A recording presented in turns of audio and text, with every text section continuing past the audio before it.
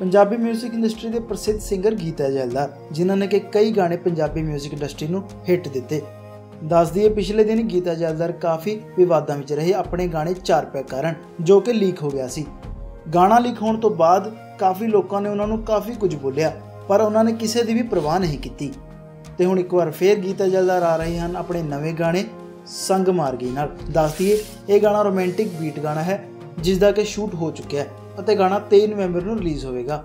ਸੰਗਮਾਰਗੀ ਗਾਣਾ T series ਵੱਲੋਂ release ਕੀਤਾ ਜਾਏਗਾ ਅਤੇ ਇਸ ਦੇ ਲਿਰਿਕਸ ਤੇ 뮤직 ਜੱਸੀ ਐਕਸ ਨੇ ਦਿੱਤਾ ਹੈ। ਗੀਤਾ ਜੈਲਦਾਰ ਨੇ ਇਸ ਗਾਣੇ ਦੀਆਂ ਸ਼ੂਟਿੰਗ ਵੀਡੀਓਜ਼ ਆਪਣੇ ਸੋਸ਼ਲ ਮੀਡੀਆ ਅਕਾਊਂਟਸ ਰਾਹੀਂ ਸ਼ੇਅਰ ਵੀ ਕੀਤੀਆਂ। ਦੱਸ ਦਈਏ, ਹਾਲ ਹੀ ਵਿੱਚ ਗੀਤਾ ਜੈਲਦਾਰ ਦੇ ਹੋਏ ਗਾਣੇ ਰਿਲੀਜ਼ ਕਾਫੀ ਹਿੱਟ ਰਹੇ। ਤੁਹਾਡਾ ਕੀ ਕਹਿਣਾ ਇਸ ਗਾਣੇ ਬਾਰੇ? ਵੀਡੀਓ ਥੱਲੇ ਕਮੈਂਟ ਕਰਕੇ ਜਰੂਰ ਦੱਸਿਓ।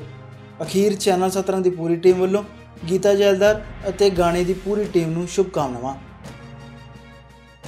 Bureau report channel Satrang. For more updates subscribe channel satrang.com